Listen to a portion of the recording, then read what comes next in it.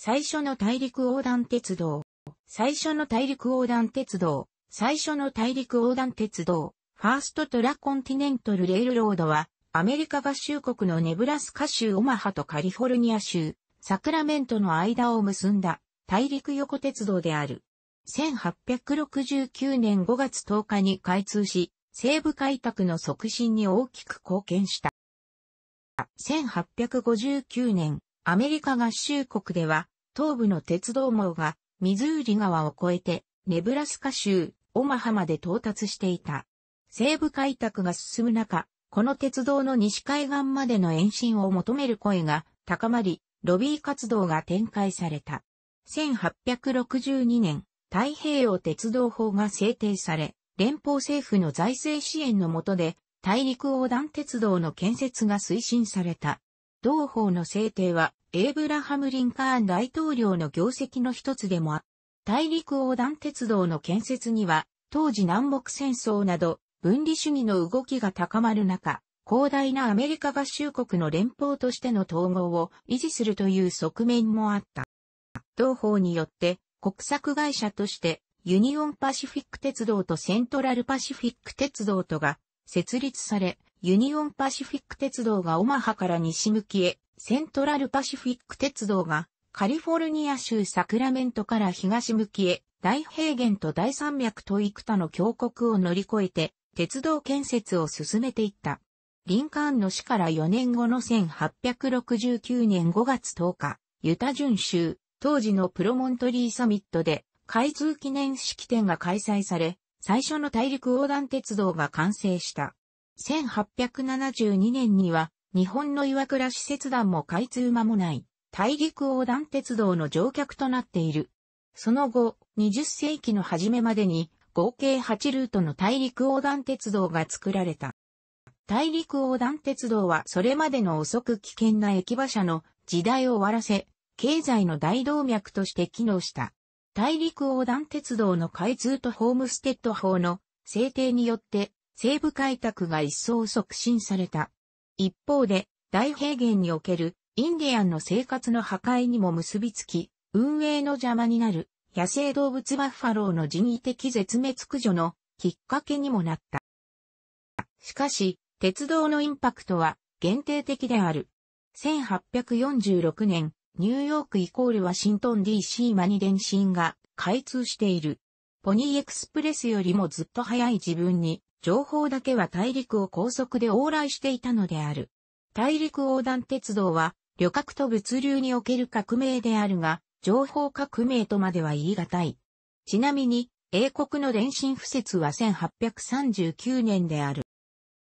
大陸横断鉄道の構想は早くからあったが、最初に具体的な実地調査を行った人物はアサ・ホイットニーであった。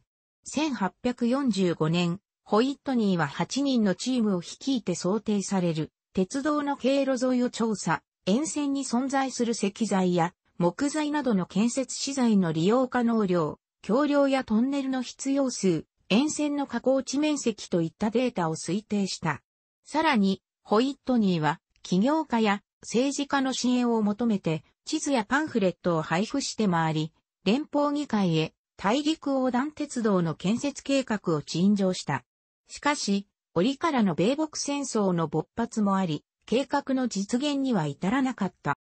今日、大陸横断鉄道の父と呼ばれているのは、セオドア・ジュダである。ジュダは1852年に設立されたサクラメントバレー鉄道において主任技術者を務め、鉄道建設を監督していた。この過程で、ジュダはサクラメントからシエラネバダ山脈を越えて鉄道を建設できると確信し、自らこの仕事を推進したいと考えるようになった。ほどなくサクラメントバレー鉄道は倒産する。ジュダは1856年にワシントン DC へ行き、連邦議会へのロビー活動を経験した。提案書を書き、閣僚や議員その他の影響力のある人々へ配布した。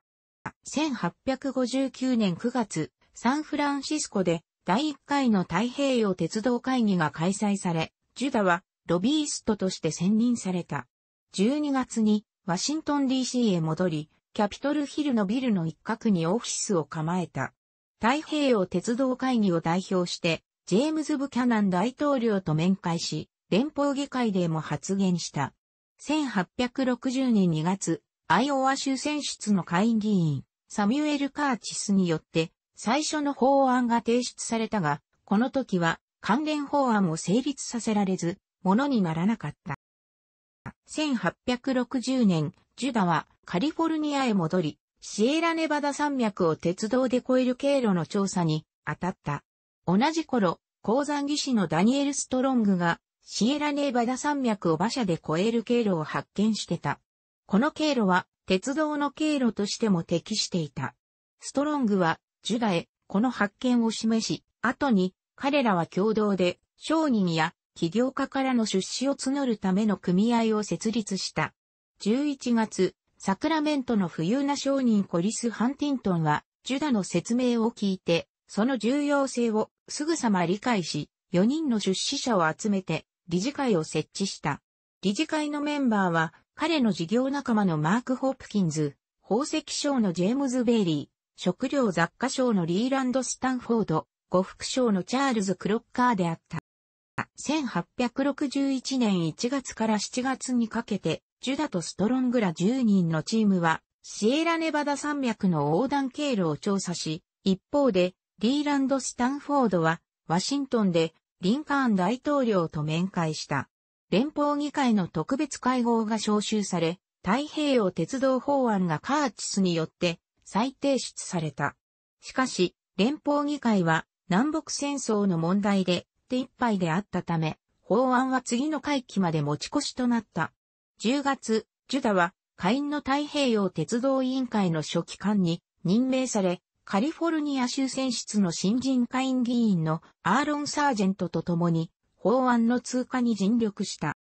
1862年、太平洋鉄道法案は5月6日に会員を、6月20日に上院を通過し、7月1日にリンカーン大統領が署名した。同法は東からユニオンパシフィック鉄道、西からセントラルパシフィック鉄道に大陸横断鉄道の敷設を求めるものであった。連邦政府による支援策としては、用地の使用許可に加えて、各社に平地においては、鉄道の建設1マイルあたり1万6000ドル、1メートルあたり9.94ドル、丘陵地においては、同3万に0ドル、同19.88ドル、産地においては、同4万8、0ドル、同29.83ドルが融資されることが定められた。1863年1月8日、カリフォルニア州知事となっていたリーランド・スタンフォードの出席のもと、サクラメントで着工記念式典が開催された。どちらの会社がより長い線路を敷設できるか競争が始まった。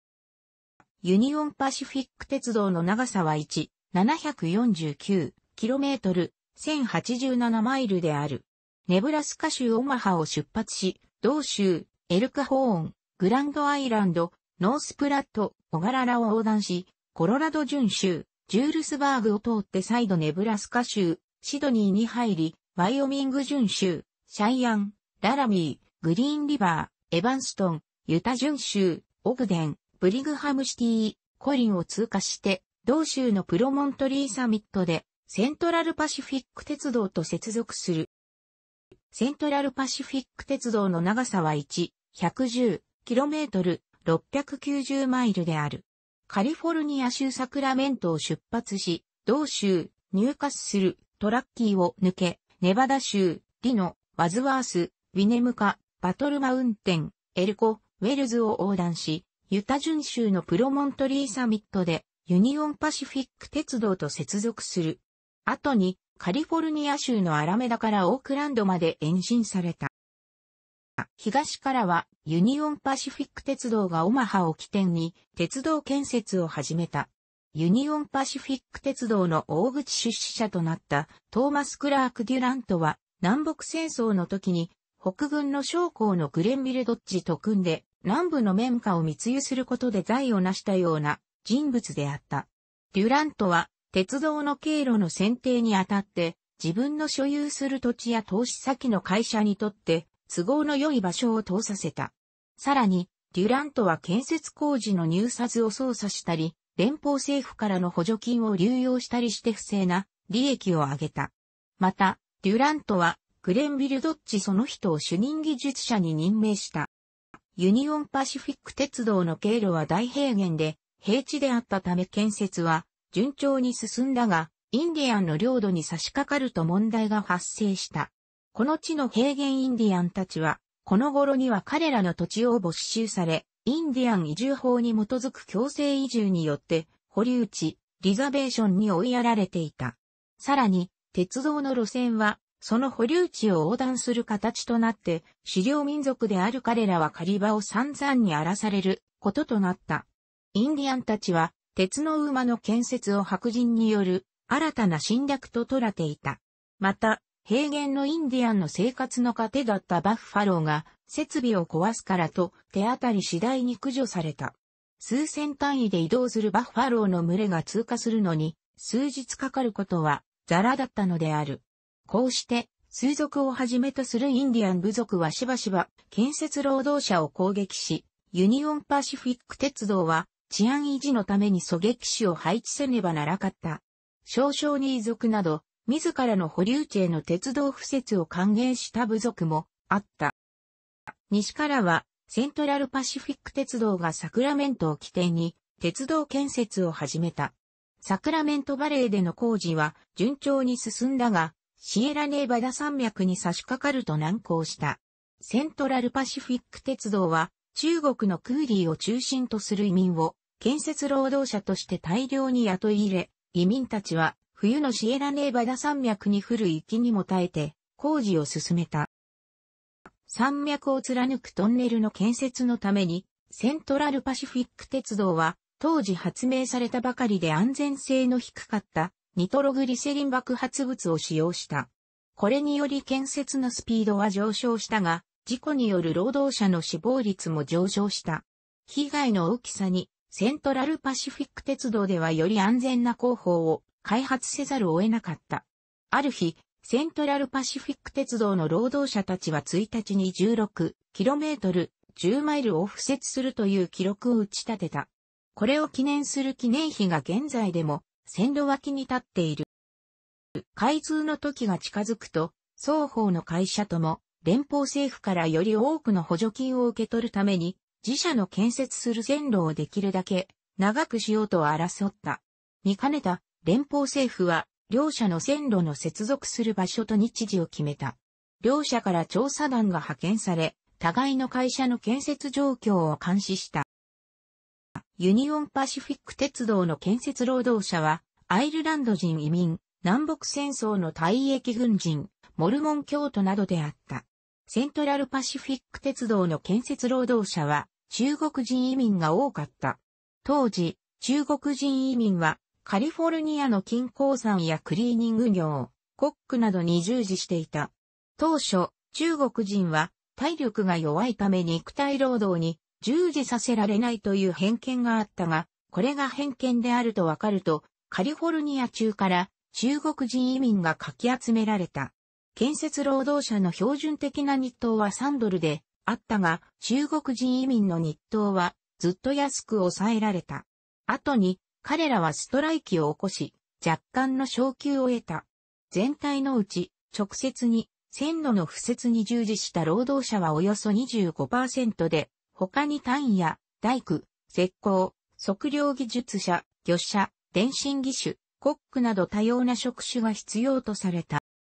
着工から6年後、ユニオンパシフィック鉄道は1、749km、1087マイル、セントラルパシフィック鉄道は1、110km、690マイルの線路を敷設し、線路はついにユタ準州ので接続された。1869年5月10日、開通記念式典が開催され、リーランド・スタンフォードが開通を象徴する黄金の犬釘、ゴールデンスパイクをハンマーで打ち込んだ。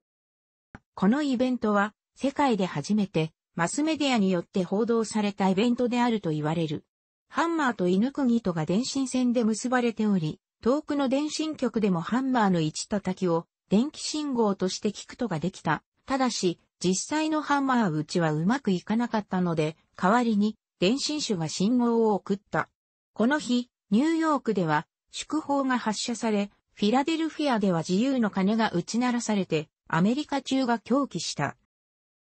大陸横断鉄道の開通によって、東海岸と西海岸との間の移動は、それまで陸上であれば数ヶ月、パナマ経由の船、当時はまだ、パナマ運河もなかったため、パナマ地峡を陸路で横断し、船を乗り換えていた。パナマ地峡鉄道については、口述でも数週間を要していたものが、一週間に短縮された。1876年6月4日に運行された大陸横断超特急は、ニューヨークを出発してからサンフランシスコに到着するまで83時間39分という記録を作った。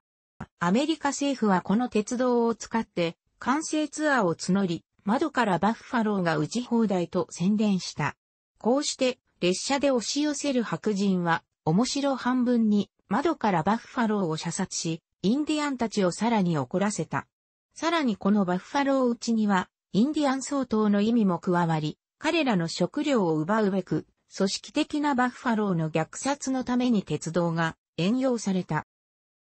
開通当時の線路や枕木は等に新しいものに交換され改良されているが、鉄道の運行経路はほぼ当時作られた経路のままである。ユタ州など当時の経路に迂回路が設けられた地点では当時の線路の土手が未だに明確に残されている。開通記念式典が行われたプロモントリーサミットは1904年にグレートソルト湖を横断するルーシン短絡線が開通するとメインルートから外れ湖の横断橋が普通になった際の予備として残されたが、1942年に戦争の影響で鉄材を供出するため、線路が完全に撤去された。